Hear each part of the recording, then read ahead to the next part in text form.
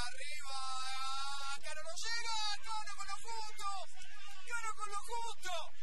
Era un golazo de Gerardo Martínez. Maravilloso. Espectacular. Los dos, dos. Ya sabía Gerardo Martínez que juega adelantado, Cano. Una pelota que se metía, mirá la desesperación de Cano y hace una pirueta. Una especie de chilena, media chilena. El único recurso que tenía, la única posibilidad. Hablamos